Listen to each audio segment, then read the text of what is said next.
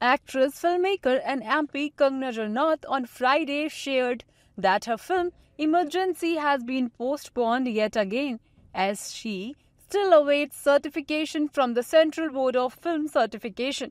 The film was scheduled to hit the big screen on Friday, September 6.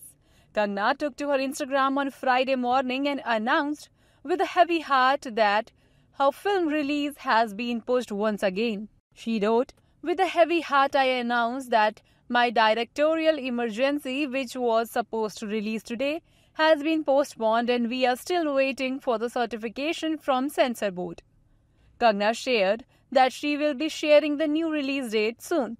Thank you for your understanding and patience. New release date will be announced soon, she wrote. On September 4th, the Bombay High Court on Wednesday ordered the censor board to decide by 18th September any representations by Sikh bodies, group or individuals who have objections to the September 6 release of the film Emergency. Film Emergency is based on India's emergency period between 1975 to 1977.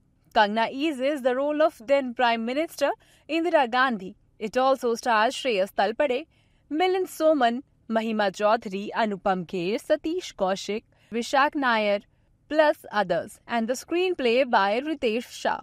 Talking about the film getting released on September 6, Kangana last week told IANS, Hopefully, my film got cleared from the censor, and the day we were about to get the certificate, a lot of people did a lot of drama. There are a lot of issues with the censors as well.